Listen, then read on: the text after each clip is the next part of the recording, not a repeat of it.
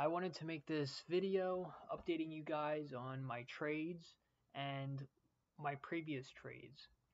Yesterday I made a video saying that I was in MRNA. I was uh I bought contracts, I bought puts around this area right here. Um and I got out around this area. If I would have held a little bit longer, I would have made twice as much profit at least. Um, so that's the good thing about options. Um, it gives you time to be right. Every single contract has an expiration date, and that means that you have up until that date to be right in your trade. And so ideally, I, I probably should have waited only because I did anticipate that it would go back to these levels, which it did. It's right here, and it might bounce back up midpoint up to this resistance right here might bounce right here. But I wanted to get in other trades as well, and I wanted to free up some capital. So um, yeah, coulda, woulda, shoulda, waited a little bit longer, made double the profit. So that's MRNA. Uh, I was I was very bearish on it. Um, typically, whenever it goes up and makes a big move, whoops. See, like right here, it would just drop back down. Right here, drop back down. So I was bearish on it. So that is one thing that I wanted to show you guys. Also, Facebook. I took a trade on this. I made like about a hundred bucks. I got out. Let's see where I got in. I got in around right here, this area, and I got out around like this area, 238s. And if I would have held one more day, as you see right now, it went down to 233. So I would have made a lot more money. It just goes to show you guys how being patient pays in the end. So this is typically um, in anticipation of earnings play. And so I, I love trading these type of plays and where it goes up in anticipation of good earnings. And then typically when the earnings come out, even if they were good, the stock's going to fall down just because it already made its move for the good earnings.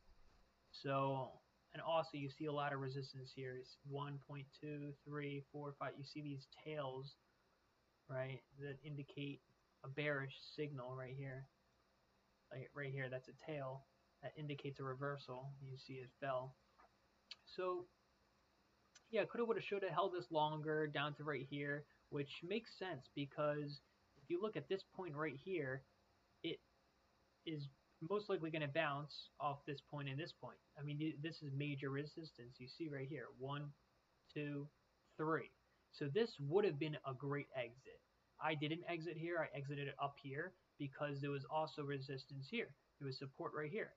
Uh, we had support resistance this right here. One, two, three, four, five, six, and, and then all of this. So you know, eh, that's how you kind of have to analyze the charts. And it's probably going to drop more. I'm waiting for this to bounce back up to 238, 239 area, and then I'll buy more puts most likely.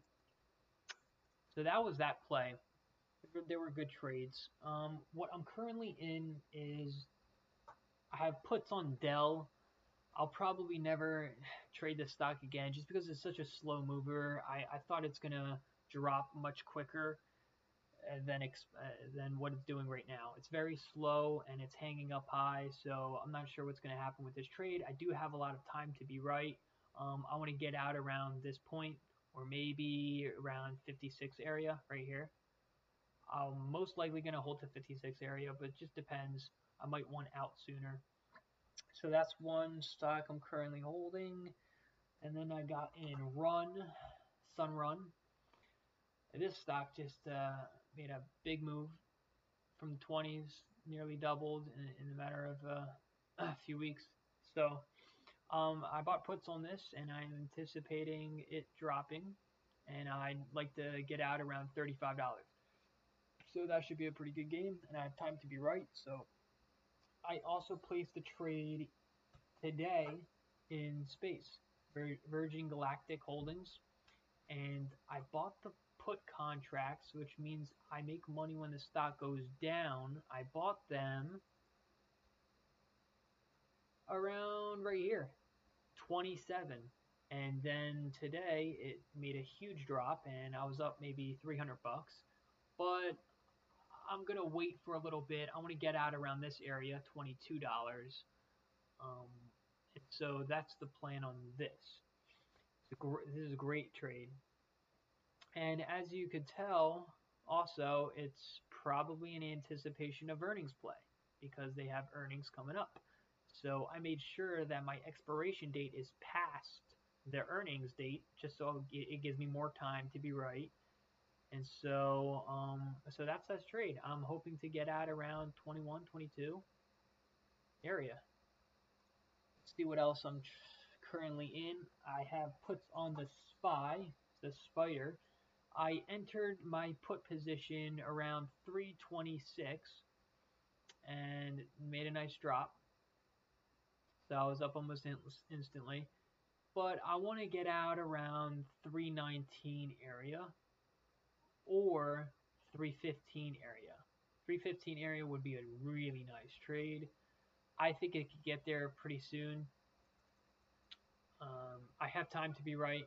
I have until, you know, around 820, 821. So almost a month to be right.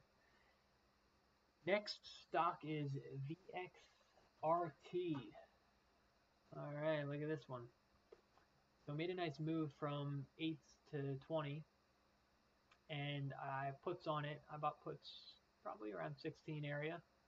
And now it's at 13. So I'll probably exit around 1260 area right here.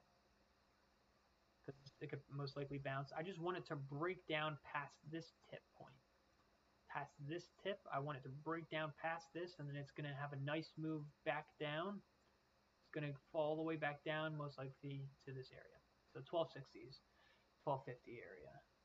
And then uh, my last position that I'm in is I am short futures, specifically corn. So let's pull up the chart right here.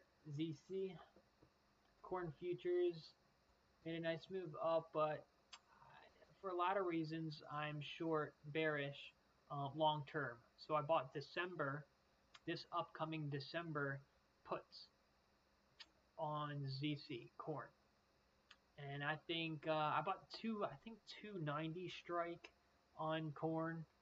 Um, it probably won't get there, but it, really doesn't matter. You can still profit in a big way without it actually reaching your strike price. So I'm anticipating it to go below this point right here, three 330 area, and uh, probably I'll probably end up maybe getting out 315 area. So we'll see in the next couple of months. I have a couple of months for this position. Um, but I'm bearish, long-term bearish. So these are my current positions as of now. Just wanted to fill you guys in on my thoughts and uh, my most recent trades. Let me know if you guys have any questions. Please like, comment, subscribe if you got value from this video. Let me know if I should make any other videos covering any other topics that you guys would want. Thanks so much.